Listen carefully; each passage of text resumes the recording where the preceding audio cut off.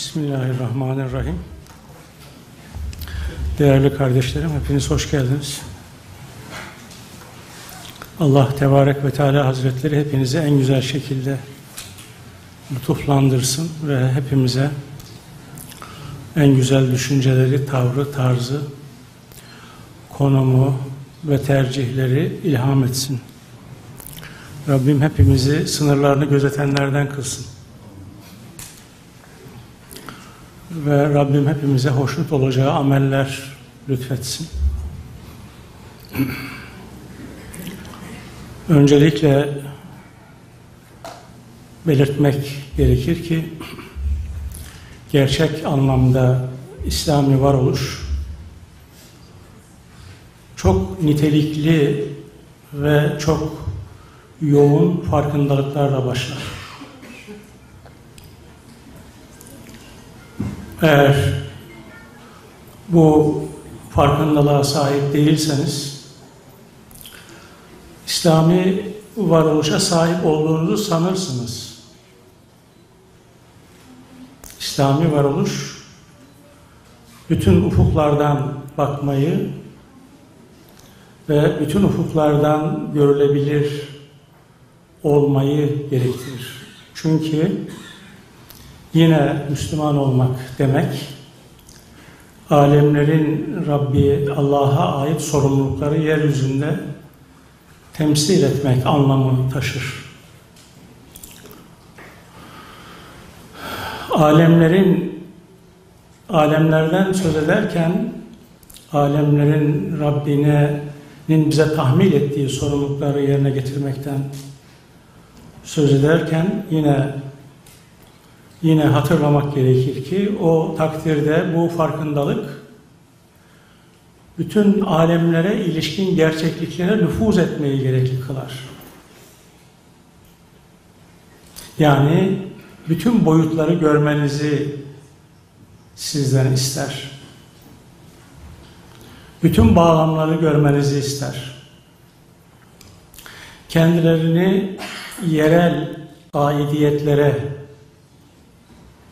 etnik aidiyetlere, mezhepçi aidiyetlere, hizipçi aidiyetlere yani kimi kutucuklara kapatanlar hiçbir zaman bu manada bir farkındalığa sahip olamazlar.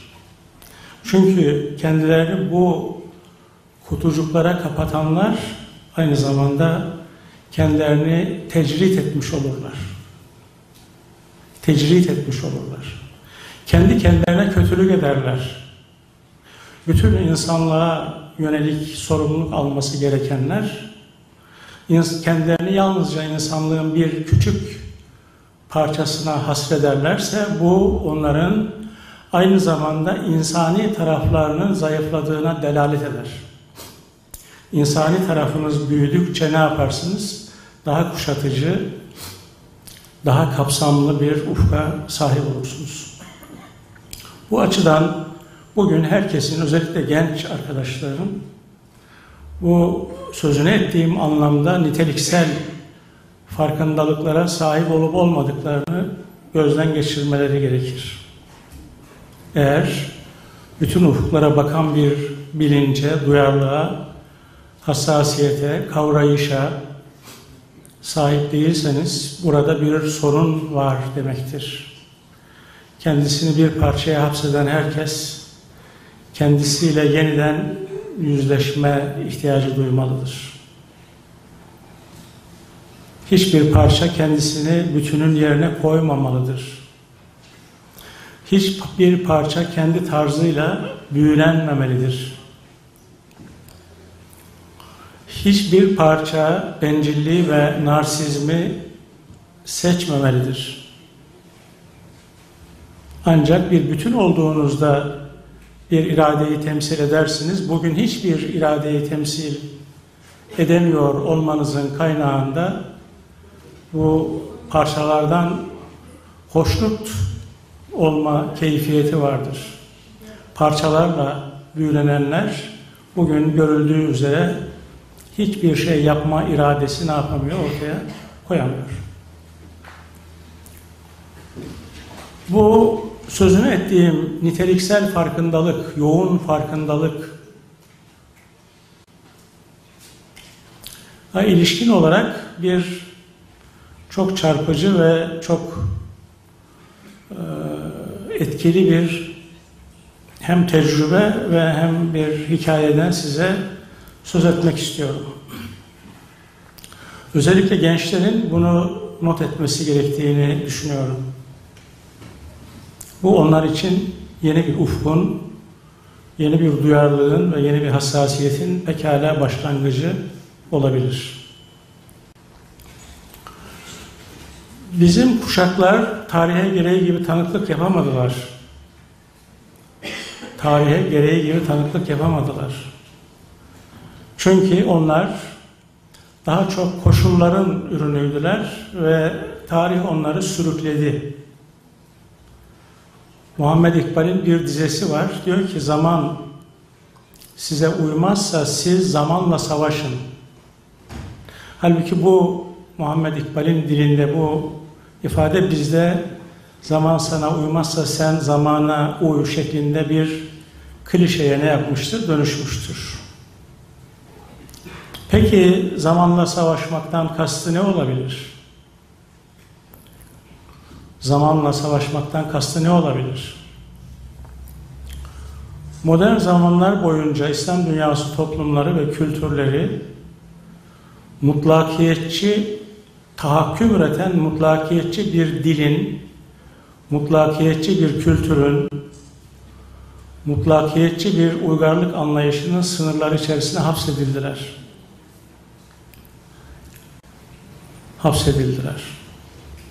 Bir tarafta demokrasi, özgürlük, insan hakları gibi klişeler havada uçuşurken bir diğer tarafta bu mutlakiyetçilik bütün toplumlarda toplumlara ne yapıldı? Askeri yöntemlerle dayatıldı. Bu, bu klişelere rağmen, bu sloganlara rağmen bütün toplumlara bu klişeler dayatıldı. Bu sözünü ettiğim tahakküm üreten mutlakiyetçi dil bugün de bütün boyutlarıyla etkisini, dönüştürücü etkisini sürdürüyor. Çünkü dünya ölçeğinde bir ikna endüstrisi, ideolojik ikna endüstrisi medya uyuşturucuları aracılığıyla ne yapıyor? Bizim zihinlerimizi bir biçimde dönüştürüyor. Şimdi bu sözünü ettiğim farkındalığa ilişkin olarak bir örnek vereceğimi söylemiştim. Bu örneği kendi dünyamızdan vermeyi çok arzu ederdim ama bu manada ne yazık ki İslam dünyası toplumlarında bir çalışma maalesef yoktur. Hindistan'da bir grup tarihçi tarafından oluşturulan Madun Araştırma Enstitüsü diye bir kurum var. Madun demek ötekileştirilen, yalnızlaştırılan, sessizleştirilen, iradesiz kılınan, tarihin dışına sürgün edilen, tarihsizleştirilen, kültürsüzleştirilen, tarihin nesnesi haline getirilen, tarihin nesnesi haline getirilen ve tarihin taşrasında yaşamaya mahkum edilen demek. Mağdun, alttakiler. Mağdun Araştırma Enstitüsü. Mağdun Araştırma Enstitüsü e, Hindistan'daki İngiliz sömürgeciliği döneminde İngiliz sömürgeciliğinin Hindistanlı Hindistan halkının ve kültürünün kültürünün sömürgeci bilgi aracılığıyla dönüştürülmesi sebebiyle kendi kendi kültür ikliminden nasıl uzaklaştırıldığına ilişkin somut çalışmaları yaptıktan sonra sömürgeciler tarafından ele geçirilen tarihlerine yeniden sahip olarak sahip olmak suretiyle kendi tarihlerini yeniden kendilerinin nasıl inşa edebileceklerini yeniden tarihe nasıl dönebileceklerini çözümlemeye çalışan bir tarih felsefesi okulu. Bizde maalesef bir tarih felsefesi okulu yok. Tarih, bir tarih felsefesi okulu yok. Bu Madun Araştırma Enstitüsü'nün Enstitüsü'nün e, tahakküm üreten modern seküler dili çok yoğun eleştirileri var. Çünkü Madun Araştırma Enstitüsü'nün e, kadroları e, Avrupa merkezci dilin, tahakküm üreten dilin dokunulmaz kılınan, ideolojik dokunulmazlığa sahip olan bu dilin, bu dilin sorgulanabileceğine, eleştirilebileceğine, reddedilebileceğine inanan bir grup. Reddedilebileceğine inanan bir grup. Biz ise özellikle içinde bulunduğumuz günlerde özellikle sekülerizm bağlamında yapılan tartışmalar sırasında görüyoruz ki bizler bu dilin reddedilebileceğine ilişkin bir inanca sahip değiliz. Bu dilin sorgulanabileceğine ve reddedilebileceğine ilişkin. Çünkü seküler meşruiyet hayatın hemen her alanında kendisini dayatırken, hissettirirken biz bugün İslami meşruiyete sahip bulunmuyoruz.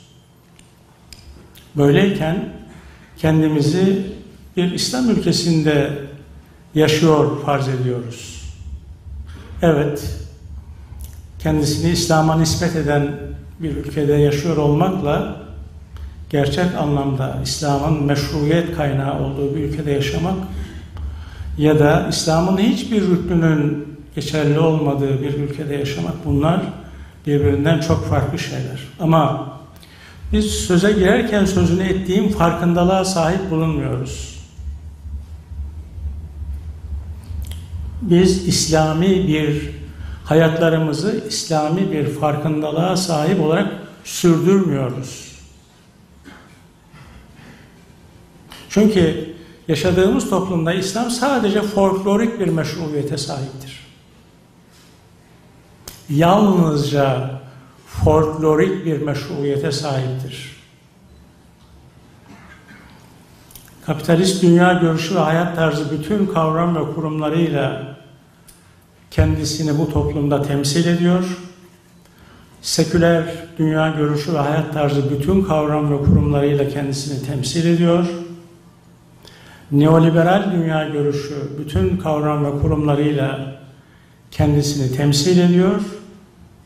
Ve fakat İslam hiçbir alanda, özellikle kamusal alanda, ne siyasal bağlamda, ne hukuki bağlamda, ne ekonomik bağlamda hiçbir alanda ne yapmıyor? Kendisini temsil edemiyor. Yine şu içinde bulunduğumuz günlerde günlerde sekülerizm bağlamında sürdürülen tartışmalara bakıldığında üzüntüyle görülebileceği üzere yapılan tanımlar, Müslümanlar tarafından yapılan tanımlar sadece bir örnek üzerinde durmak bile yeterli olabilir.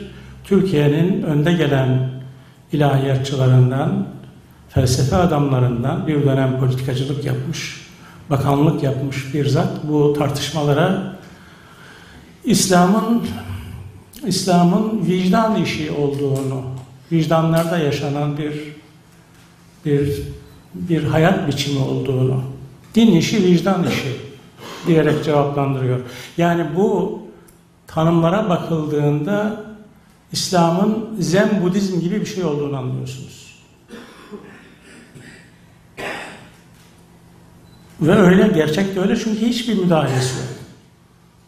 Ayrıca İslam'ın hayatı, tarihi, toplumu, siyaseti, ekonomiyi, kültürü ila ahır dönüştürmesi istikametinde Müslümanların bir programı da yok.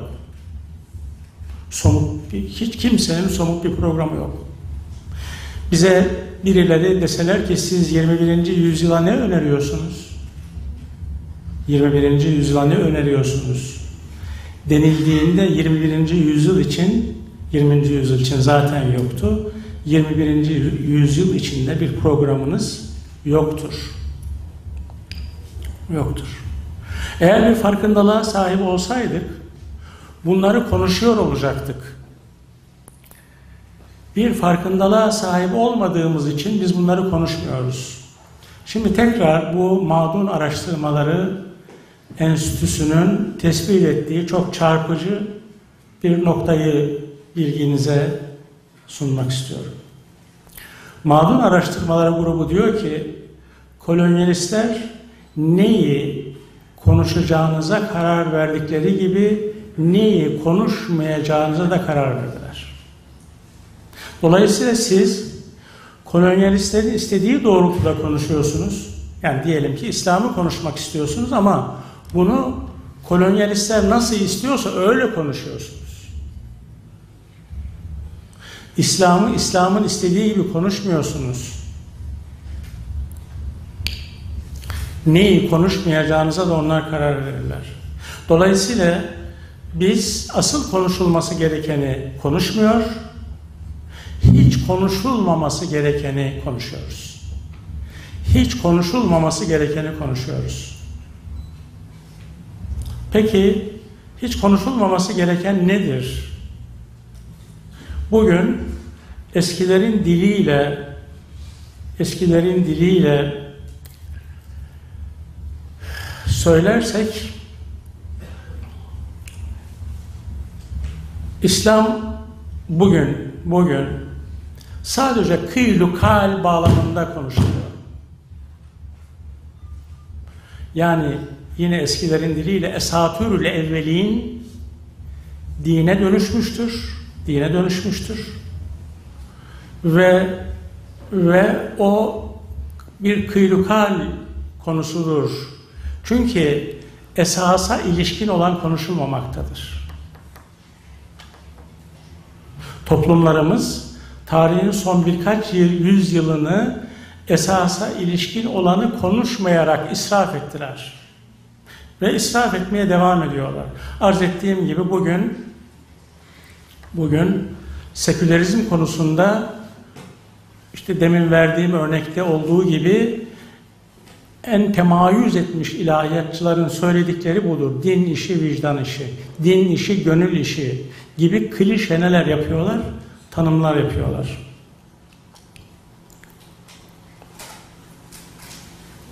Sekülerizmin, kapitalizmin, neoliberalizmin İslami bütün için çok büyük bir eğer o bir farkındalığa sahip olsaydık biz kapitalist kültürle, seküler kültürle, neoliberal kültürle böylesine ünsiyet içinde yaşamaya devam edemeyecektik. Farkında olsaydık. Biz farkında olmadığımız için İslam için tehdit sayılabilecek her ne varsa bunlarla uzlaşarak hayatlarımızı sürdürüyoruz. Çünkü uzlaşmak sorumluluktan kaçmak anlamına geliyor. Çünkü uzlaşmak risk almaktan kaçmak anlamına geliyor. Çünkü uzlaşmak bir bedel ödemekten kaç, kaçmak anlamına geliyor.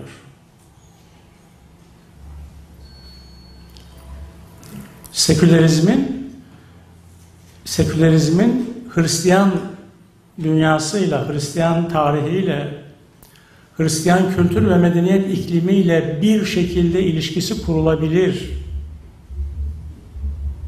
Bir şekilde ilişkisi kurulabilir ve fakat bugün pek çok Hristiyan düşünür, e, özellikle bu seküler ilişkiden son derece rahatsızdır. Daha doğrusu sekülerizmin belirleyici ve tayin edici olmasından doğan bir takım rahatsızlıklara sahiptir. Ama bir Müslüman her şeyden önce şunun ayırdına varmalıdır. Farkında olan birisinin tespit edeceği ilk şey şudur. Sekülerizmin İslam dünyası toplumlarına ihraç edilmesinden daha büyük bir patoloji olamaz. Bu bir patolojidir. Hele ve hele bunun askeri yollarla dayatılmış olması büyük bir zulümdür. Sekülerizmin sekülerizmin İtalyan ve Fransız mason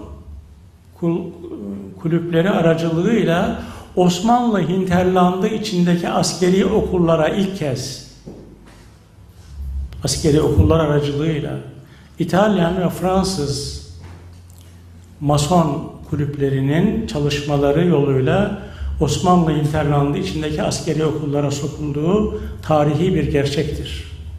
Konuyu ayrıntısıyla takip etmek isteyenler Orta Doğu'da otoriter rejimler kitabında konuyla ilgili çok ilginç tespitlere ne yapabilirler? Bakabilirler ve oradan yararlanabilirler. Yani sekülerizmin toplumlarımıza ithali hiç de masum olmayan bir mahiyet taşıyor. Ayrıca yine bilmek gerekiyor ve hatırlamak gerekiyor ki Cumhuriyet Türkiye'si e, 1789'u aynen kopya etmiştir. Bütün kavram ve kurumlarıyla kopya etmiştir. Kopya etmiştir. Türkiye 1923'ten beri Müslümanlar ve diğerleri bu kopya edilen kavram ve kurumlarla ilgili hiçbir eleştirel sorgulama yapmamışlardır. Kopya eden kişinin kişiliğiyle ilgili spekülasyonlar yaparak bir yüzyılı geçirmişlerdir. 1789'dan kopya edilen kavramlar ve kurumlarla ilgili olarak hiçbir eleştirel hesaplaşma yapılmamıştır sadece ve sadece kopya eden 1789'u kopya eden kişinin tarihsel kişiliğiyle ilgili spekülatif neler yapılmıştır? Tartışmalar yapılmıştır ve bu tartışmalar halen ısrarla yapılmaya devam edilmektedir. Bunun anlaşılabilir ve kabul edilebilir bir yanı yoktur. Bu düşünsel bir tembellikle alakalıdır. Düşünsel bir ataletle alakalıdır düşünsel bir meskenetle alakalıdır. Ayrıca yine eğer farkında olmuş olsaydık şunu görecektik. Hem seküler hem liberal hem kapitalist e, dünya görüşü ve hayat tarzının bütün referansları Hristiyanlıktan alınmıştır. Bugün referansları Hristiyanlıktan alınan kavram ve kurumlarca oluşturulmuş bir düzenin neleriyiz? Mensuplarıyız. Bu içinde bulunduğumuz konumun İslami bir yoktur. Daha doğrusu İslam bu tür bir bizim içinde bulunduğumuz konuma benzer bir konumu meşru telakki etmiyor. Yani böyle bir konumu konum olarak tasavvur edemiyor. Böyle bir şey yok. Böyle bir şey yok. Peki neden bütün bunlar neden oluyor? Nasıl oluyor da Müslüman olmak demek çok büyük farkındalıklara ve tanıklıklara sahip olmayı gerektirirken bu farkındalıklara nasıl oldu da yabancılaştık? Ya da yabancılaştırıldık. Bu nasıl mümkün olabildi? Toynbee 1923'te yazdığı bir yazıda, büyük tarih felsefecisi Toynbee yazdığı bir yazıda Türklerin Batı uygarlığını seçerek kültürel anlamda ihtida ettiklerini 1923'te yazdığı bir yazıda Türklerin Batı dünya görüşünü hayat tarzını seçerek ihtida ettiklerini yazdı. İhtida sözcüğü Müslümanlar için kabul edilebilir bir çünkü bunun müeyyidesi var. İslami müeyyidesi var. Ama İslami düşünce hayatı, kültür hayatı, dini hayat bu ihtida süreçleriyle ilgili olarak hiçbir zaman ne yapmadı? Sorgulayıcı çözümlemeler yapmadı. Nasıl oldu da bir toplum bu noktaya geldi ya da ihtida etti. Bu herhalde bir günde olacak bir şey değildi. Ama bilmek ve hatırlamak gerekir ki daha 1500'lerden itibaren Osmanlı İmparatorluğu bünyesinde bütün reform hareketleri dışarıdan dayatılarak ne yapılmıştır? Gerçekleştirilmiştir. Bugün el an Türkiye yine dışarıdan dayatılan reformlarla ne yapmıyor ne yapmaya çalışıyor? Kendisini konumlandırmaya çalışıyor. Ve bugün bugün biz mesela tarih kitaplarında kapitülasyonların kaldırıldığına ilişkin neler okuruz? İşte bir takım açıklamalar okuruz. Hayır. Bugün bugün bütün bir düşünce hayatımız bütün sömürgeci bilgi tarafından ne yapılmıştır? Kuşatılmıştır. Genel anlamda bütün kültürel kavramlar, düşünsel kavramlar, felsefi kavramlar Avrupa merkezci dil tarafından üretilmiştir. Sömürgeciler İslam dünyası toplumlarını sömürgeleştirmeden önce onların önce zihinlerini sömürgeleştirdiler ve bu zihnin bağımsız bir içerik üretmesini ne yaptılar? Engellediler. Biz bugün biz bugün bağımsız olduğunu düşünen ve karşı karşıya bulunduğu fark edem bağımlılıkları fark edemeyen bir topluluğuz. Eğer bizler bir tarih felsefesi o bahsettiğim gibi mağdun araştırma enstitüsünün yaptığı gibi çözümlemeler yapıyor olsaydık, yapmış olsaydık şunu görecektik. Biz tarihin son birkaç yüzyılını tamamlanmamış bağımsızlıklar içerisinde geçirdik. Hiçbir şey tamamlan İslami anlamda hiçbir şey tamamlanmamıştır. Ama hiçbir şey tamamlanmamıştır. Çünkü biz yanlış bir geleneği sürdürüyoruz. Bu sözünü ettiğim farkındalıklara yabancılaşmamızın nedeni bu dışarıdan iktidarla, kapitülasyonlarla ilgili olmaktan çok daha çok içeride yaşadığımız yabancılaşmalarla çok daha yakından ilgilidir. Çünkü İslam bir şekilde ne olmuştur? Bir, bir şekilde vulgarizasyona tabi tutulmuştur. Sistematik olarak bir vulgarizasyona tabi tutulmuştur. Bir mistifikasyona tabi tutulmuştur. İslam bir taraftan büyük kitleler tarafından hüsnü kabul görsün için büyük kitlelerin hoşuna gidecek şekilde vulgarizasyona tabi tutulurken yani masal, menkıbe, efsane unsurlarıyla bütünleşirken bir diğer tarafında taraftan da ne yapılmıştır? Mistifikasyona tabi tutulmuştur. Ve gelenek dine dönüşmüştür. Burada şöyle bir sonuç çıkarılmamalıdır. Gelenek bütünüyle kötü ya da gelenek bütünüyle kutsal. Geleneğin müteşerri bir dille ne yapılması gerekir? Bir eleştirel, seçici bir analize tabi tutulması gerekir. Bu hiçbir zaman için yapılmamıştır. Şimdi bir taraftan İslam vulgarize edilmiştir. Yani kitlelerin hoşuna gidecek şekilde. Bugün bugün dini hayat büyük ölçüde bunu yapıyor. Çünkü dini hayat büyük büyük ölçüde klinik vakalar tarafından ele geçirilmiştir. Bir klinikte tedavi edilmesi gereken yüzlerce kişi bugün cemaat reisi durumundadır.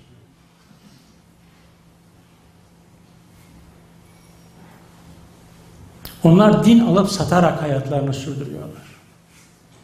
Çünkü bugünün dünyasında en karlı iş din alıp satmaktır. Bir taraftan vulgarize edilmiştir, bir taraftan mistifikasyona tabi tutulmuştur.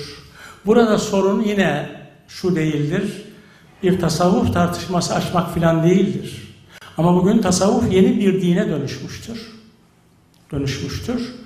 Ve dinden bağımsız bir bir çerçeve ve bir boyut içerisinde ne yapmaktadır? Faaliyetini sürdürmektedir. Bitmedi Bir diğer tarafta din devletleştirilmiştir. Ulus devletlerde din devletleştirilmiştir. Ulus devletlerde din yani İslam millileştirilmiştir. Millileştirilmiştir. Ulus devletlerde din, ulus devletlerin çıkarına hizmet edecek şekilde konumlandırılmıştır.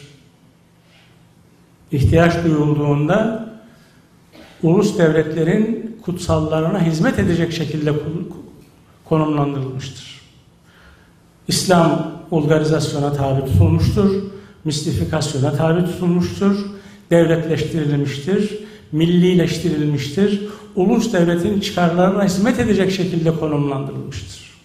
Dünyada hiçbir aidiyet biçimi ulus devlet biçimi kadar yoksul değildir. Çünkü ulus devlet yalnızca toprak ve milliyetten oluşur.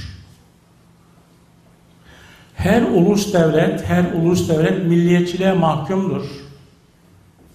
Her ulus devlet milliyetçiliğe mahkumdur. Her milliyetçilik sonunda bir şekilde bir şekilde militarizme mahkumdur. Biz bu, bu süreçleri bugün bütünüyle, bütün boyutlarıyla yaşıyoruz.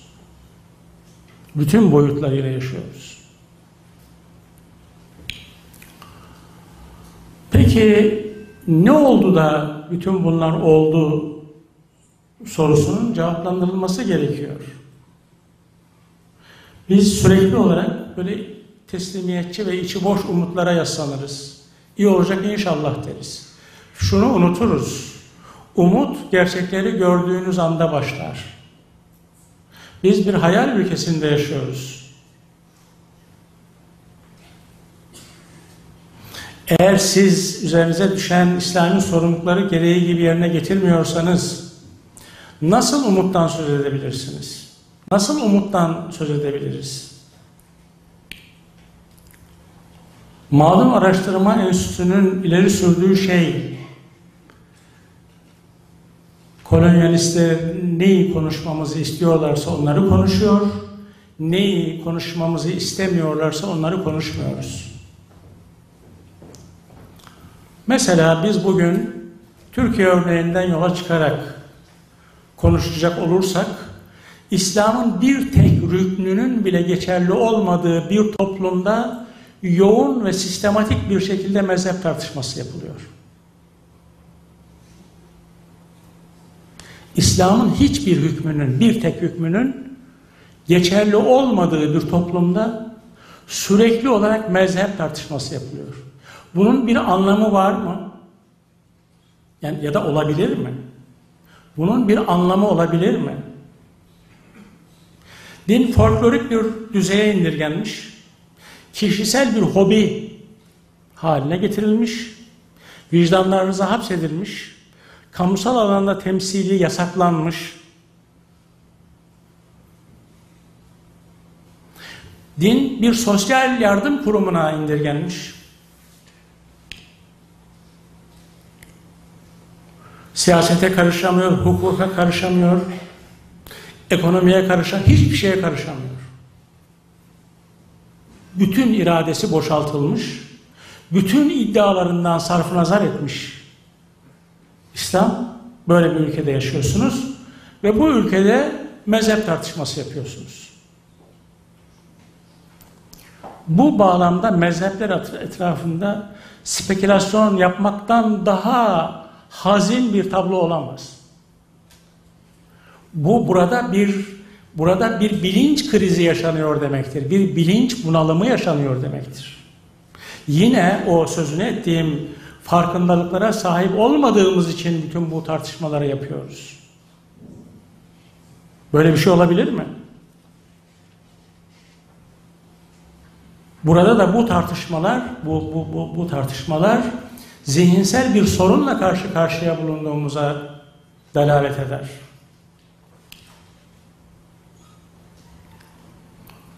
Asıl konuşulması gereken şey, bugünün gerçekliğini neden biz Müslümanlar oluşturmuyoruz? Bugünün gerçekliğini, gerçekliğine ilişkin Müslümanlar neden eleştirel bir dil oluşturamıyor? Neden Müslümanların uluslararası camiadan İslam'ı temsil eden bir tek düşünürleri yok?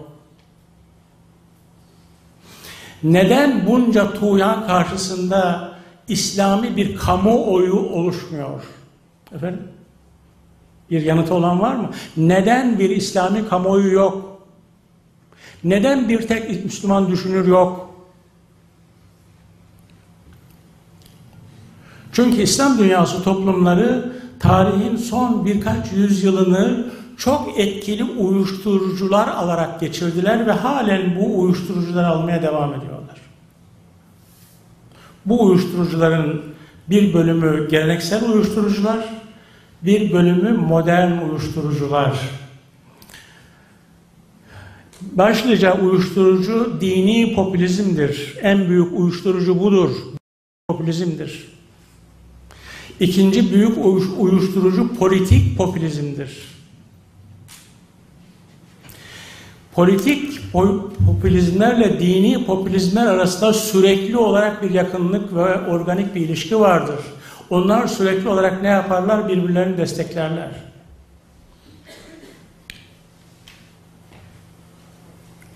Ha, bir de bunun yanında bir başka uyuşturucu daha var. O Türkiye'ye özgü bir uyuşturucudur.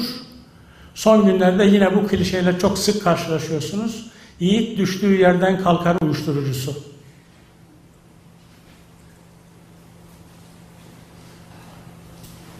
Bunlar tamamen ucuz sloganlar, bayağı sloganlar.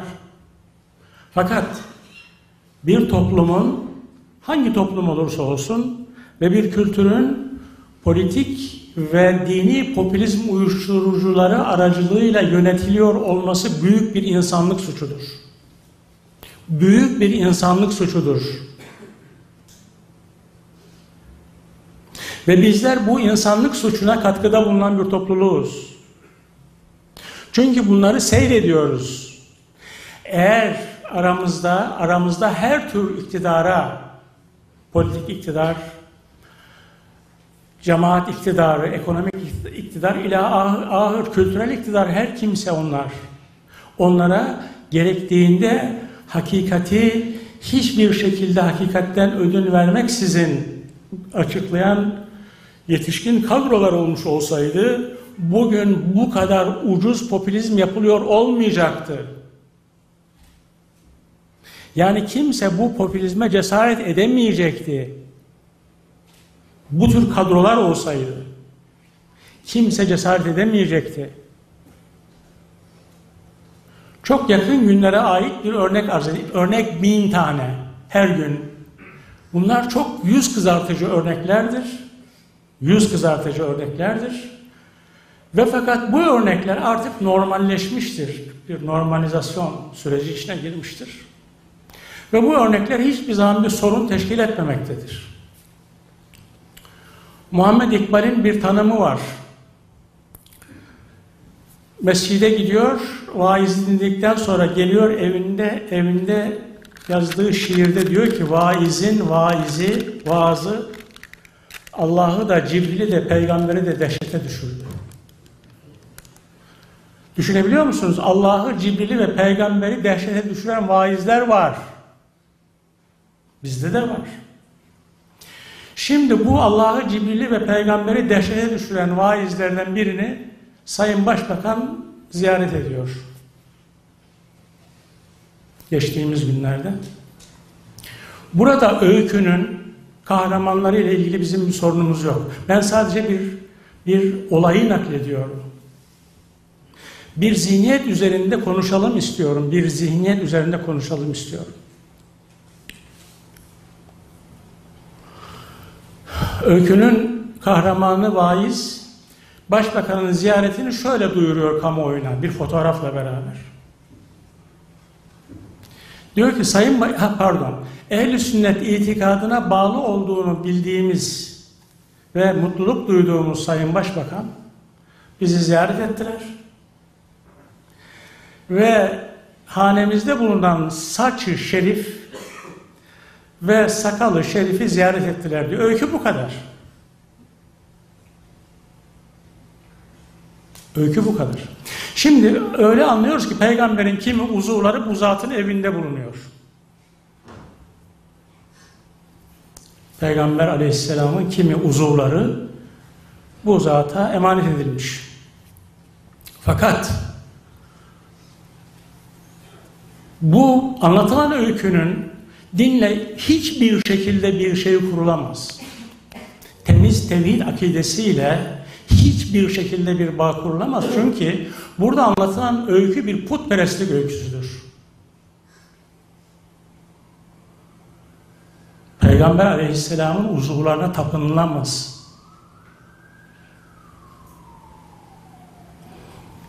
Peygamber aleyhisselamın tarihsel misyonuna ilişkin tek cümle kurulmuyor. Bugün tek cümle. Nedir Peygamber aleyhisselamın tarihsel misyonu nedir? İnsanlık tarihinin en büyük devrimini gerçekleştirmiştir. Yeni bir dünya görüşü, yeni bir hayat tarzı, yeni bir siyaset tarzı, yeni bir kültür, yeni bir uygarlık, yeni bir insanlık yorumu ile ahır gerçekleştirmiştir.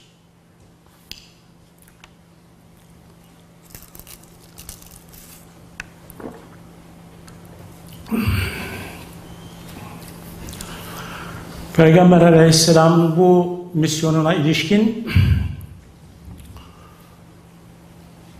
bu politik popülizm ve dini popülizmin hiçbir şeyi yoktur, programı yoktur.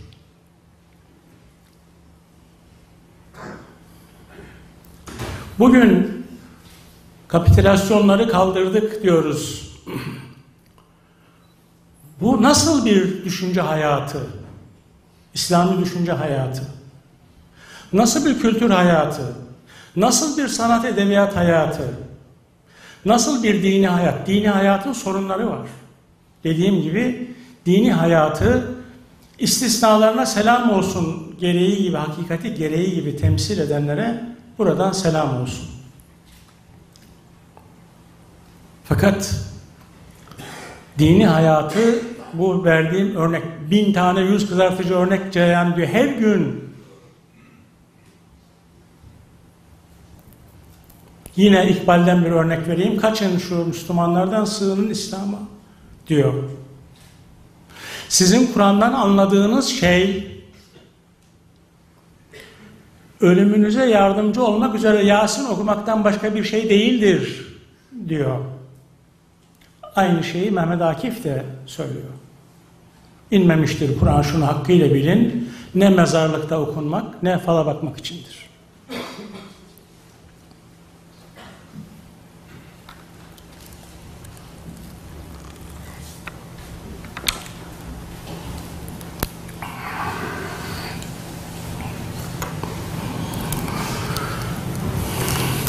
Şimdi toplumlarımız, toplumlarımızın çok kronik, kronik sorunları var. Biz sorunları çözmek yerine bunları biriktiriyoruz. Biz sorunları çözmek yerine bunları biriktiriyoruz.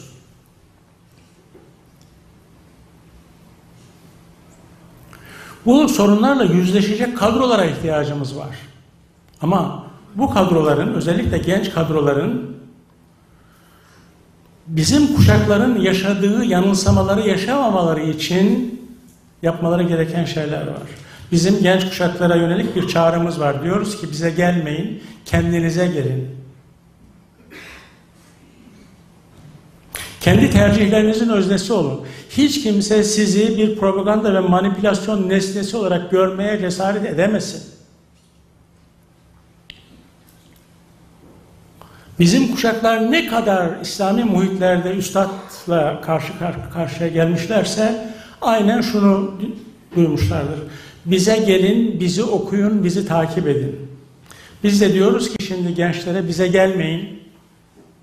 Bize gelmeyin. Beni okuyun diyenlere okumayın. Beni takip edin diyenlere takip etmeyin.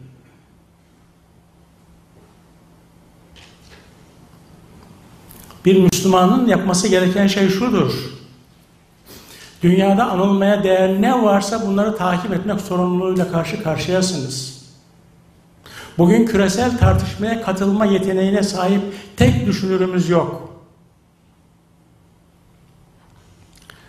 Yiğit nerede düştüyse oradan kalkar diyenlere ithafen söylüyorum. Mahmut Mamdani diye bir bir düşünürümüz var. Ugandalı ve Kampala'da doğdu, büyüdü.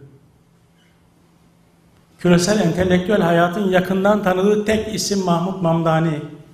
Mamdani diyor ki sorumlu bütün Müslümanların, özellikle de genç Müslümanların tarihsel çözümlemeler yapmak için 1492'den sonra tarihte ne olup bittiğine ilişkin çok sağlıklı irdelemeler yapması gerekir. Biz bunların hiçbirisini yapmadık. Hiçbirisini yapmadık. Çünkü çünkü toplumlarımız tarihi yine son birkaç yüzyılını düşüncesizleştirilerek geçirdiler, geçirdiler. Toplumlarımızda fikrin bir haysiyeti yoktur. Toplumlarımızda daha çok kişisel tercihler yapılır. Kişiler seçilir, fikirler değil. Herkesin ufkunu bir kişi, bir karizmatik kişi, bir üstad ne yapar? Kapatır. Ve bu üstadlar zamanla ne yaparlar? Dokunulmazlık kazanırlar. Onlara propaganda yoluyla bir dokunulmazlık ne yapılır? Kazandırılır.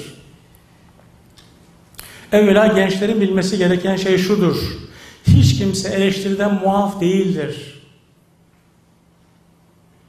Bir toplumun, düşünün ki bir toplumun 100 yıl boyunca aynı metni okuyor olması klinik bir vakadır. 100 sene boyunca bir topluluk bir üstadın bir kitabını okuyor. Döne döne aynı şeyi okuyor. O üstad kendisini takip edenlerin ne yapıyor? Ufkunu kapatıyor. Bu yüz yıl boyunca tarihte dünyada ne olup bittiğine ilişkin hiçbir dikkate sahip olamıyorsunuz. Hiçbir dikkate sahip olamıyorsunuz. Dünya büyük alt üst oluşlar, büyük değişimler, dönüşümler yaşıyor. Sizin ufkunuzu o tırnak içinde mübarek zat kapatıyor. Sonra bu, bu, bu zatlarla ilgili çok efsanevi etiketler icat ediliyor. Şimdi bu zatlar için çok büyük alimler deniyor. Fakat bu zat diyor ki bu kitapları ben yazmadım bunlar bana yazdırıldı diyor. Demek ki alim değil.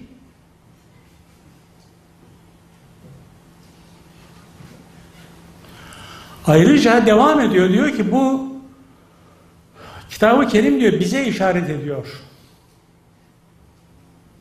Sapkınlığı görüyor musunuz? Bize işaret ediyor diyor. Burada şöyle bir şey her kültürde bu var. Her, her kültürde bu var. Mesela Amerika ne yapıyor? Kendisinde diyor ki bir kutsal misyon ben, ben seçilmiş bir halkım. Dolayısıyla benim kutsal bir misyonum var. Ve bu kutsal misyon gereği ben İslam dünyası ülkelerini ne yapıyorum? İşgal ediyorum, yağmalıyorum, soykırıma tabi tutuyorum, katliama tabi tutuyorum. Yok ediyorum, yağmalıyorum. Çünkü ben seçilmiş bir halkım diyor. İsrail ben seçilmiş bir halkım dolayısıyla bu Filistinleri bir böcek gibi ne yaparım ben ezerim. Onlar insan altı bir topluluktur diyor. Geliyoruz Müslüman meczuba. O da diyor ki bize işaret ediyor Kur'an diyor.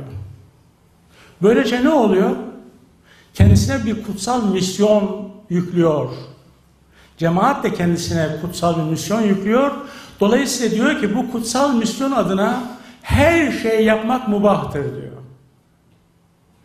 Soygun yapabilirsiniz, vurgun yapabilirsiniz, yalan söyleyebilirsiniz, tecessüs edebilirsiniz, her şey yapabilirsiniz diyor.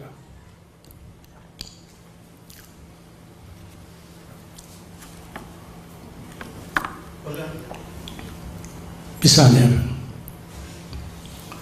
Bu misyon sebebiyle, bu kendisine tahmin edilen bu misyon sebebiyle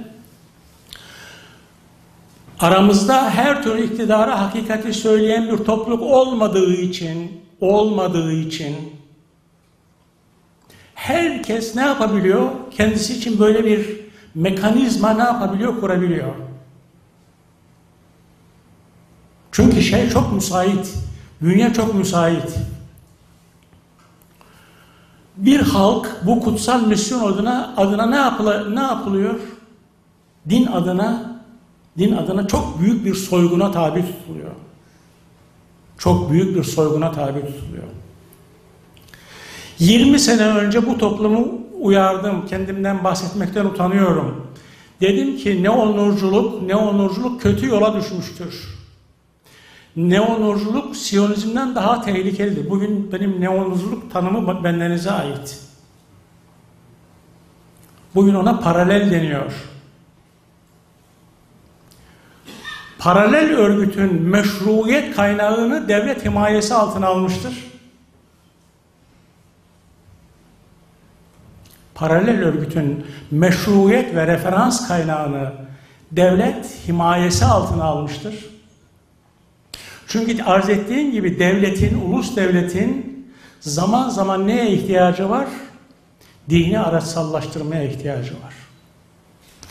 Dini araçsallaştırmaya ihtiyacı var. Demin verdiğim örnekte olduğu gibi demokrasilerin, meczupların da ilgisine ihtiyacı var.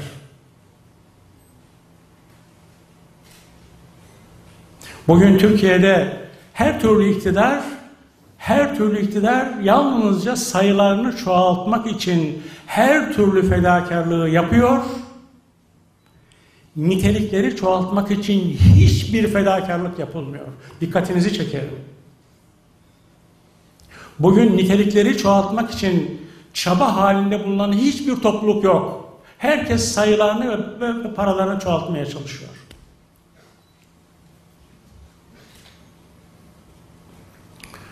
Yüzlerce, binlerce Türkiye'de şeyler var. Dernekler, vakıflar, vakıflar, dernekler var. Hepsi aynı amaca yönelik çalışmalar yapıyor. Ben bu çalışmaları hafife almıyorum. Fakat yani ümmete sosyal yardımlar yapılıyor. Siz Kudüs'e siyasal anlamda yardım yapma iradesine sahip bir ülke duydunuz mu? Siyasal anlamda Kudüs, Kudüs'ün şu andaki konumuna ilişkin. Gazze'ye ilişkin, Gazze'ye demir yardımı yapıyorsunuz, ilaç yardımı yapıyorsunuz. Bulgur yardımı yapıyorsunuz. Çimento yardımı yapıyorsunuz. Peki neden siyasal yardım yapmıyorsunuz? Dünyanın hemen her yerine sosyal yardımlar gidiyor. Peki neden bu ümmetin ümmete zihinsel yardımda bulunan bir tek kuruluş yok? Neden yok? Neden yok? Çünkü o kolonyalistlerin söylediği gibi neyi konuşacağınıza ve neyi yapacağınıza siz karar vermiyorsunuz.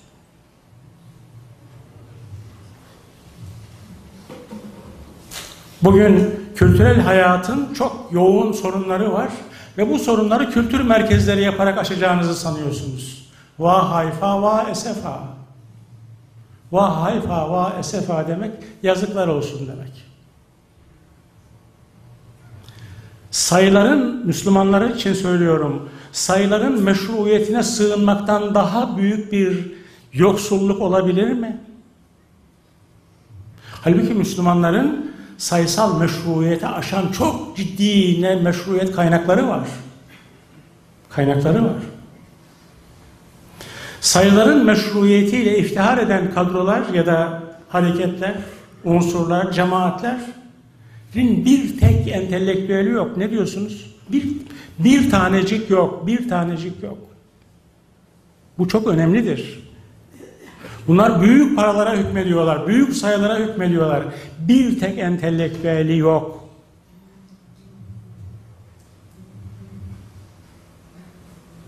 Muhafazakar demokratların bu kadar paraları var, şu kadar kültürleri yok.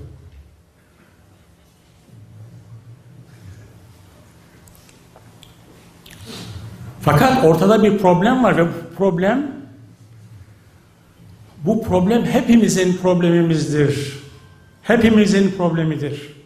Ve özellikle gençler ve özellikle gençler.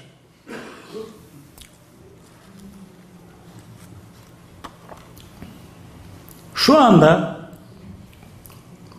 hemen şimdi eğer yüksek bir farkındalığa sahip olsaydık hemen üzerinde durmamız gereken şey ne olacaktı? Şu olacaktı. Şu olacaktı.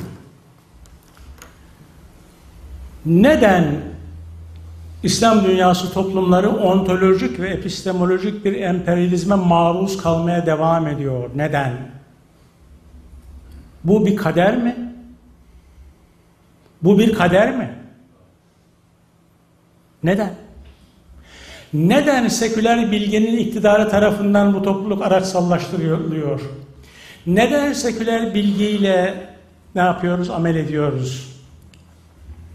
Neden İslami bilgiyi özgürleştirmek için bir çaba yok?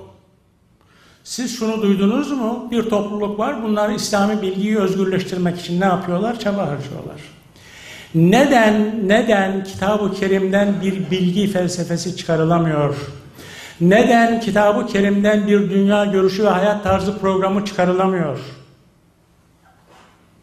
Neden Kitab-ı Kerim'den, neden Kitab-ı Kerim'den bir dünya görüşü perspektifi çıkarılamıyor?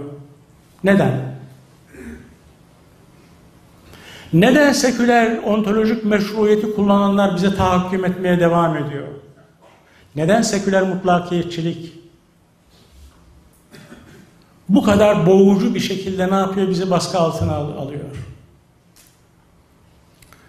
Buna rağmen buna rağmen biz ontolojik ve epistemolojik bir emperyalizme hem de şiddetle maruz kalırken yani seküler ontoloji adına ülkelerimiz yok ediliyor. Uygarlık misyonu klişesiyle yüzlerce yıldan beri her tür şiddete maruz kaldık. Uygarlık misyonu. Uygarlık misyonu klişesine karşı bir dil oluşturabilmiş değiliz. Bir düşünce oluşturabilmiş değiliz.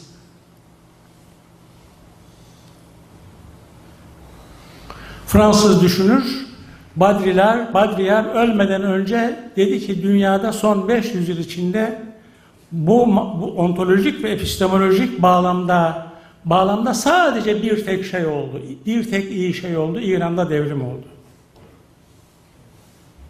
Bir tek iyi şey. Yani o bu ontolojinin reddedilebileceğini, bu epistemolojinin reddedilebileceğini ne yaptı? Gösterdi.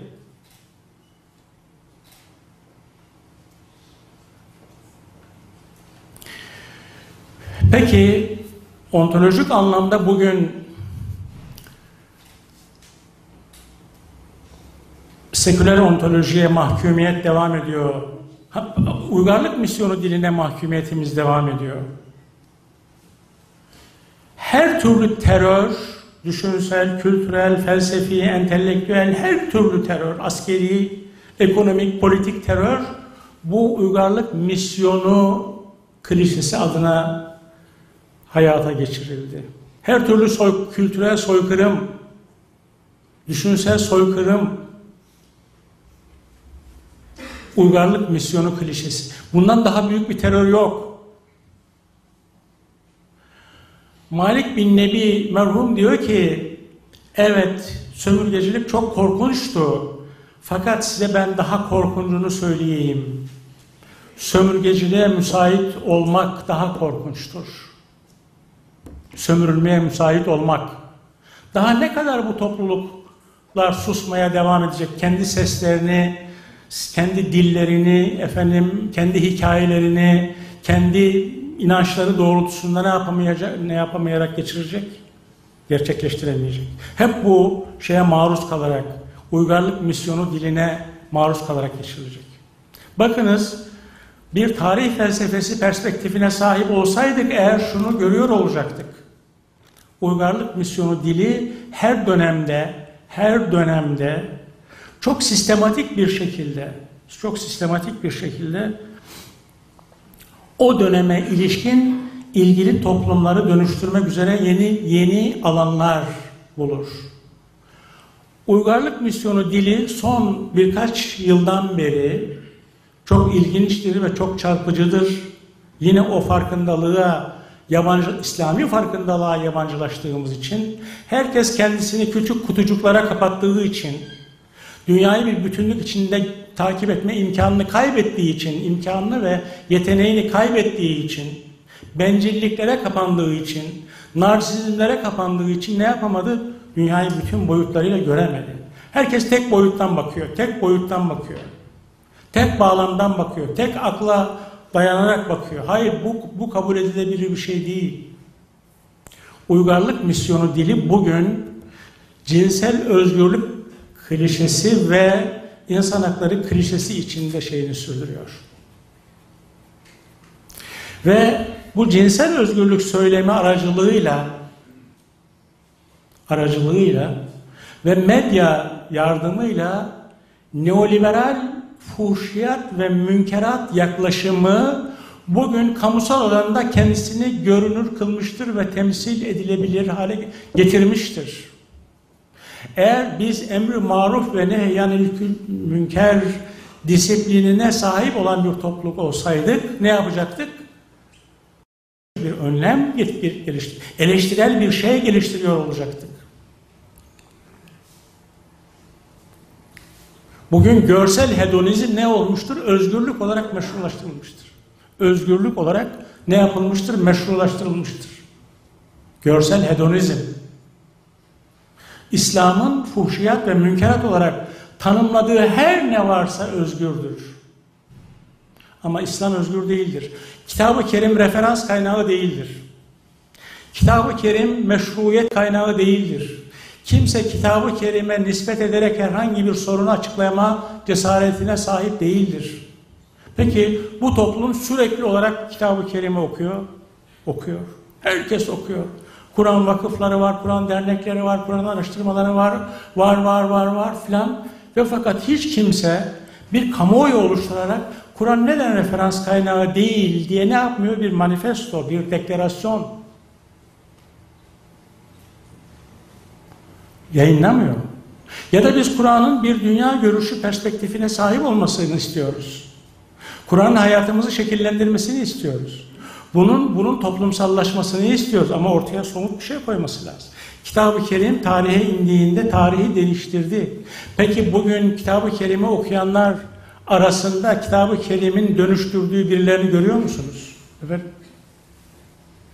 Dönüştürdüğü birilerini görüyor musunuz?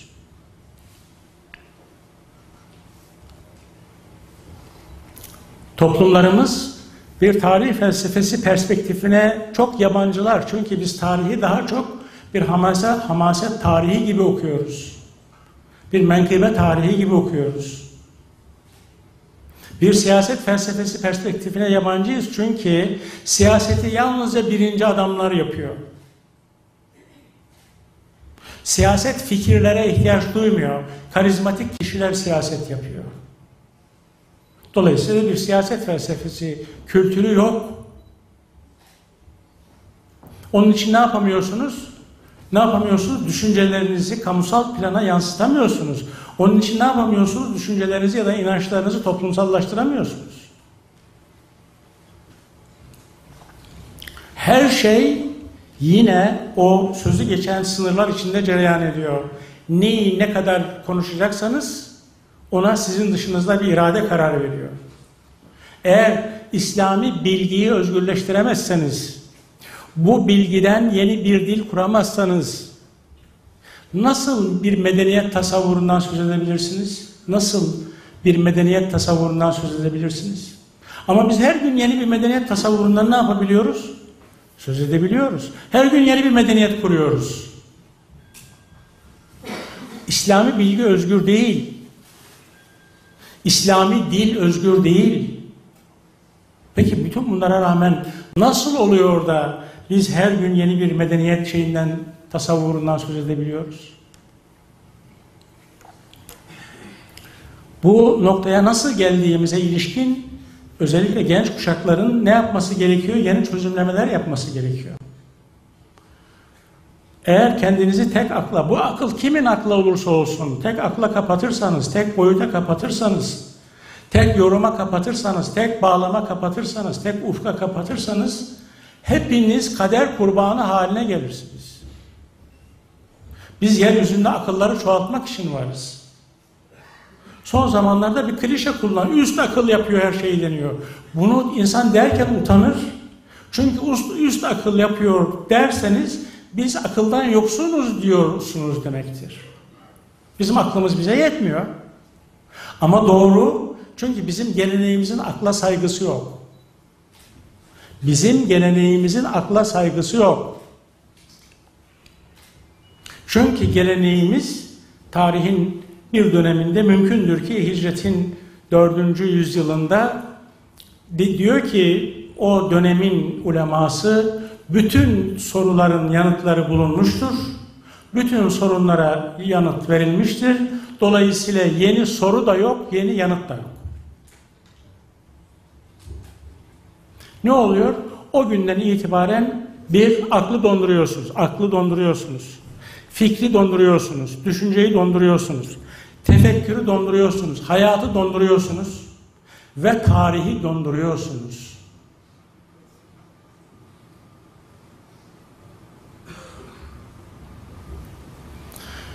Ve ondan sonra ne oluyor? Ortaya yeni bir tarih çıkıyor ve o tarihe kayıtsız kalıyorsunuz. Yeni bir tarih ortaya çıkıyor çünkü. 1492'den itibaren ortaya yeni bir tarih çıkıyor. Modern bir tarih çıkıyor. Özellikle genç kuşakların Rönesans'tan sonraki bütün gelişmelere ilişkin eleştirel bir dikkate sahip olmaları gerekiyor. Bir diğer tarafta içe doğru da bir eleştirel nüfuza sahip olmaları gerekiyor. Hem içe doğru eleştirel bir dikkat hem dışa doğru bir eleştirel dikkat.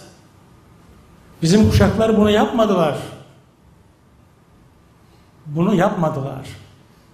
Çünkü çünkü kendilerini takip ettikleri üstadlar onların ufuklarını kapattılar. Bir üstadı seçtiğiniz andan itibaren ona ne yapıyorsunuz? Dokunulmazlık kazandırıyorsunuz. Bugün genç kuşakların büyük bir takdirle kendisine yöneldikleri isimlerden birinin geçenlerde bir metnini gördüm.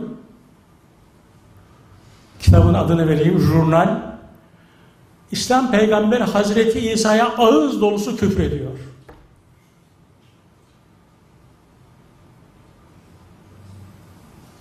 Çünkü biz bir ismi bir put haline getirdiğimiz andan itibaren ona ne kazandırıyoruz? Hem masumiyet kazandırıyoruz, hem kutsallık kazandırıyoruz, hem dokunulmazlık kazandırıyoruz. Böyle bir yaklaşım kabul edilebilir bir yaklaşım değildir. Demin de arz ettiğim gibi e, hiç kimse eleştiriden muaf değildir. Onun için biz genç kuşaklara şunu bütün kültürleri okumaları gerektiğini öğütlüyoruz.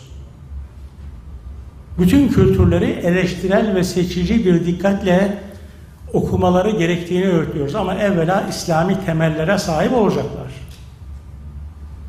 Bugün küresel çağda yaşıyoruz ve küreselleşme küreselleşme sadece ekonomik bir süreçler toplamı değil. Küresme, küreselleşme yeni bir emperyalizm biçimi, küreselleşme yeni bir modernite biçimi. Şunu bilmemiz gerekir ki Müslüman olmak demek her şeye karşı olmak, her şeye muhalefet etmek demek değil. Bu ikili karşıtlıklar modern zamanlarda icat edildi. Doğu, Batı, İslam, Hristiyan karşıtlıkları.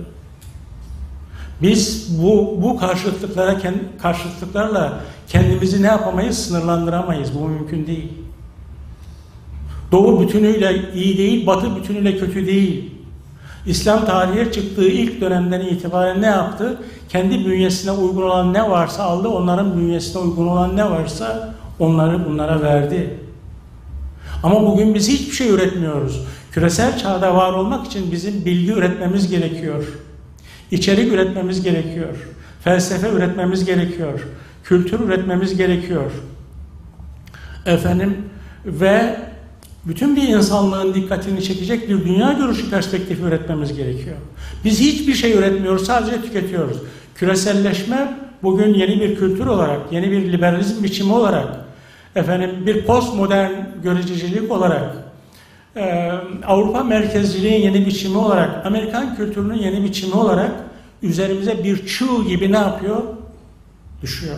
Ve biz bu çığ altında düşünsel ve kültürel olarak ölmek üzereyken hangi mezhep daha güçlü, hangi mezhep daha etkiliyi konuşuyoruz. Bu vahim bir durum, bu vahim bir durum. arz ettiğim gibi İslam'ın hiçbir rüknünün özgür olmadığı bir toplumda yaşıyoruz. Neden bu noktada bir tek farkındalık yok? Bu kadar çok niçin Kur'an okuyoruz? Da hiçbir toplumsal plana yansıması yok. Siyasal plana yansıması yok. Neden yok? İslam'ın hiçbir rüknünün özgür olmadığı bir toplumda her yere propaganda camileri yapılıyor. Hem de çok görkemli. Bu camiler daha çok ulus devlet kutsallarını temsil ediyor. Siz bu camilerde İslam'ın İslami bütüne ilişkin programlar üzerinde konuşma yapıldığını duydunuz mu? İslami bütün tarihe yeniden nasıl geçirecek? Tarihe nasıl dahil olacak? İslami bütün yeniden tarihe nasıl dahil olacak? Bu camiler için olağanüstü paralar harcanıyor. Büyük fikirler için bir kuruş harcanmıyor. Ne diyorsunuz? Siz büyük fikirler için bir kuruş harcayan birisini tanıyor musunuz? Tanıyorsanız adını verin buraya kayda geçirelim. Büyük fikirler için bir kuruş veren birisini hatırlıyor musunuz? Sayısal iktidara sahip olmakla övünenleri gerektiğinde kültürel iktidarı ellerinde tutan bir avuç seküler seçkin ne yapabiliyor? Sarsıyor mu? İstediği zaman onların meşruiyetini tartışma konusu yapabiliyor mu? Bugün çocuklarımız internet sokağında yetişiyor. Çocuklarımıza geçmişteki fetihleri anlatıyoruz. Peki çocuklarımıza bugün için ne söylüyoruz? Çocuklara bugün için ne söylüyoruz? Ne söylemeliyiz? Dün ne yapıldığını anlatmak ayrı bir şeydir. Bugün ne yapılması gerektiğini anlatmak ayrı bir şeydir. Bugün ne yapılması gerektiğine ilişkin niçin hiçbir şey söyleyemiyoruz? Neden? Kültür merkezlerini çoğaltarak kültür sorununu halledeceğimizi düşünüyormuşuz. Bu sorunu nasıl çözümleyeceğiz? Kendi kendilerini şu ya da bu kişinin ufkuna kapatanlar düşünmeliler ve o kutucuklardan çıkmalılar. Bir çözüm bulmak zorundayız. Her şey etrafında belki spekülasyon yapılabilir ama İslam ve Kur'an etrafında spekülasyon yapmamalıyız. Keyfi yorumlar yapmamalıyız. Ehliyet ve liyakate dayalı kadrolar kadrolar yetiştirmeliyiz. Kadrolar için çok büyük fedakarlıklar yapmalıyız. Bugün her tür iktidara gerektiğinde hakikati söyleme liyakatine sahip kadrolar olsaydı etraf bu kadar yoğun bir bayağılaşmaya maruz kalmayacaktı. Sonra neden Müslümanlar şunu kendilerine sormuyorlar? Biz neden hep dışarıdan ve tepeden bir dayatmaya maruz kalıyoruz? Neden? Ne maruz kalıyoruz? Maruz kalmak güçsüzlükle ilgilidir. Maruz kalmak, maruz kalmak zayıflıkla ilgilidir. Maruz kalmak ufuksuzlukla ilgilidir, iradesizlikle ilgilidir. Hep maruz kalıyoruz. Her şeye biz maruz kalıyoruz. Bu nasıl bir şeydir? Dünyayı bir bütünlük içinde takip etmesi gerekir. Sorumlu her Müslümanın dünyayı bir bütünlük içinde takip etmesi gerekir. Bugün şimdi yapılacak şey bu ontolojik ve epistemolojik emperyalizme karşı ne yapmaktır? İslami bilgiyi özgürleştirmektir. İslami bilgi temelinde yeni bir dil kurmaktır. İslami bilgi temelinde yeni bir dil kurmaktır. Bu dilin bu dilin toplumsallaşmasını ve bu dilin siyasallaşmasını sağlamaktır. Eğer bir şey yapmak istiyorsak şu andan itibaren hiç kimse tarafından araçsallaştırılamayacak bir yetkinliğe sahip olmamız gerekiyor. Ve hiçbir propagandanın ve manipülasyonun aracı olmayacak ölçüde bir dikkate sahip olmamız gerekiyor. Bunu yapmadığımız takdirde, bunu başaramadığımız takdirde hiçbir şey başaramayacağız. Ve herkes hikayeyi sadece kendi bulunduğu yerden takip etmemeli. Biz bütün dünyanın hikayesine yeniden nasıl dahil olacağımıza ilişkin ne yapmalıyız? Çözümlemeler yapmalıyız. Tarihten ne zaman çekildik? Nasıl çekildik? Niçin çekildik? Bugün yeniden tarihe dönmek için ne yapmalıyız? Gündeminde böyle bir konu olan bir, bir vakıf, bir dernek, bir topluluk hatırlıyor musunuz?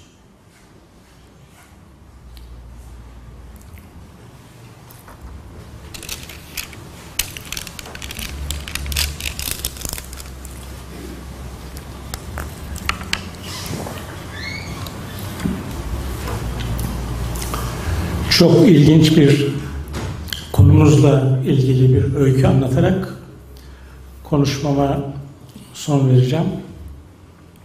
Sonra oradaki arkadaşımızın bir açıklaması olacaktı galiba. Onu dinleyeceğim. Öykü şöyle. Öykü 21. yüzyılın en egzantrik filozofu Zizek anlatmıştı iki sene önce İstanbul'da yaşanmış bir öykü olduğu için arz edeceğim. Soğuk Savaş döneminde Doğu Almanya'dan bir muhalif Sibirya'ya sürgüne gönderiliyor. Muhalifimiz çok tanınmış bir isim. Sürgüne gitmeden önce arkadaşlarıyla son olarak bir araya geliyorlar.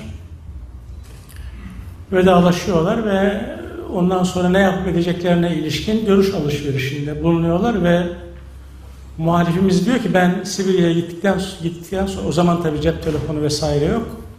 Sadece mektup var. Ben diyor oradan, oradan size mektuplar yazacağım diyor. Ama aramızda bir şifre bulalım. Ben o şifre doğrultusunda yazacağım diyor. Muhalifimiz gidiyor. Uzun bir süre sonra Sibirya'dan mektup, hangi şifre şöyle. Diyor ki eğer ben mavi mürekkeple mektup yazarsam her şey doğru. Öyle okuyacaksınız. Kırmızı mürekkeple yazarsam her şey yanlış. Mavi mürekkeple yazarsam her şey doğru. Kırmızı mürekkeple yazarsam her şey yanlış. Muhalifimiz gidiyor. Uzun bir süre sonra mektup geliyor. Mektup mavi mürekkeple yazılmış. Şöyle diyor, ben buraya çok rahat bir yolculuktan sonra vasıl oldum, geldim. Burada çok iyi karşılandım. İşte bir çok rahat bir evim var. Elektrik var, işte su var vesaire var. Her türlü imkan var. Tiyatrolar açık, sinemaya gidiyoruz, tiyatroya gidiyoruz. İşte marketten her türlü ihtiyacımızı temin ediyoruz. Burada her şey var ancak kırmızı mürekkep kesinlikle yok diyor. Şimdi arkadaşlar hep birlikte düşünelim. Bizim her şeyimiz var ama kırmızı mürekkep yok. Her şey var. Fazlasıyla var ama kırmızı mürekkep yok. Peki kırmızı mürekkep ne? Olması gereken ne?